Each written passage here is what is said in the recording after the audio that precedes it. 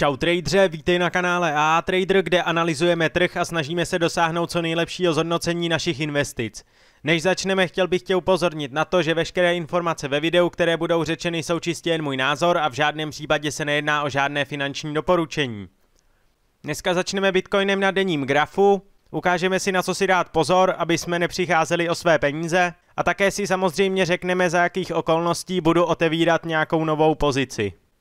Jak můžeme vidět, tak Bitcoin se nám stále pohybuje v tomto paternu a hlavní, co mě u tohoto paternu zajímá, je tento support. Jak můžeme vidět, tak ten tady dodržujeme už od úplného začátku. Tady nás to podrželo, tady, tady znova, no a nakonec i tady, kde se aktuálně pohybujeme, nás to podrželo jako support. Nejde si ale nevšimnout, že pokaždé, když jsme se dostali pod tento support, například tady, tak tu nastal fake out směrem dolů a pak zase rychlý výkup až nad tento support. Ještě si to posunu, aby to bylo lépe vidět. To samé se stalo i tady v tomto případě, kdy jsme se dostali pod tento support a následoval rychlý výkup směrem nahoru. No a nebylo tomu jinak ani včera, kdy vlastně jsme se dostali pod tento support a zase následoval rychlý výkup směrem nahoru. Jelikož jsem už nějakou dobu čekal na breakout této linie, abych mohl vstoupit do short pozice, a když se podíváme, tak jsme tady měli i tento support, takže to bylo vlastně prodažení dvou těchto supportů, což byla krásná příležitost pro otevření short pozice. S tím, že stop loss jsem měl tady nad těmito denními uzávěry a první target byl tady na hodnotě 37 100 dolarů a druhý target tady na úrovni 34 000 dolarů, kde máme tento velký support. Jelikož jsem měl stále na paměti to, že tady v minulosti byly tyto fakeouty, tak poté, co jsem otevřel svoji short pozici, jsem stop loss nastavil lehce pod vstupní cenu. A to z toho důvodu, abych v noci mohl v klidu spát. Jak můžeme vidět, tak rozhodnutí to bylo správné, protože cena se pohybuje aktuálně na hranici 41 tisíc dolarů, což by znamenalo, že by se mi trade uzavřel se ztrátou, pokud bych neměl stop loss nastavený lehce pod tou vstupní cenou. Pokud tě zajímají tyto analýzy a chceš vidět i další, ujisti se, že si dal odběr tomuto kanálu a aby ti nic neuniklo, klikni na zvoneček. Také mi napiš do komentářů tvůj pohled na aktuální cenu bitcoinů nebo predikci ceny. Dále bych tě rád pozval i na Twitter, kde zveřejňuji své obchody, když není čas na video a zároveň tam dávám i nějaké novinky ze světa kryptoměn.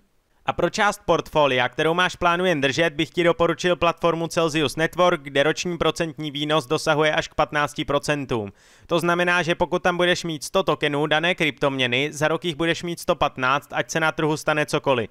Jediné, co je potřeba udělat, je si založit na této aplikaci svůj účet a držet kryptoměny, které chceš zhodnocovat. Výplata se ti připisuje každý týden a pokud to uděláš přes můj link, dostaneš přes 1000 korun bitcoinu jako bonus. Jak platforma Celsius funguje, jsem popsal ve videu, které můžeš najít v popisku, a nebo se ti zobrazí na konci tohoto videa.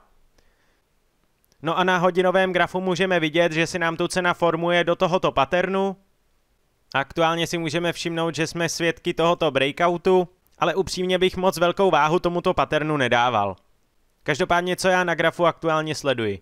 Když se podíváme na tu aktuální pumpu, tak nejideálnější místo, kde by se mohla zastavit, je právě někde u této rezistence. Klidně až tady na hodnotě 42 500 dolarů, kde vlastně máme toto předchozí high, kam by si cena mohla dojít pro likviditu. Já aktuálně sleduji příležitost pro vstoupení do short pozice, a nejideálnější místo pro vstoupení do short pozice je dle mého názoru někde v těchto úrovních, kde očekávám, že by se cena měla otočit a pokračovat zase směrem dolů. Zatím teda žádnou pozici neotevírám, jen sleduji, jak se cena bude chovat, případně kde se začne otáčet. A až pokud tu nastane nějaké to otočení směrem dolů, tak budu připravený otevírat short pozici. S tím, že stop loss budu mít tady na hodnotě 42 700 dolarů, který je vlastně nad tímto high, s targetem až tady na tomto supportu, s tím, že bych rozhodně sledoval, jak by se cena chovala a kdyby to vypadalo, že se cena otáčí zase směrem nahoru, tak bych byl připravený tu short pozici ukončit. Když se podíváme, jak by u tohoto tradu vypadalo risk reward ratio, tak můžeme vidět, že se přibližuje téměř k hodnotě 5, což už samozřejmě patří mezi ty méně riskantní trady, co se týče v poměru potenciálního profitu vůči potenciální ztrátě.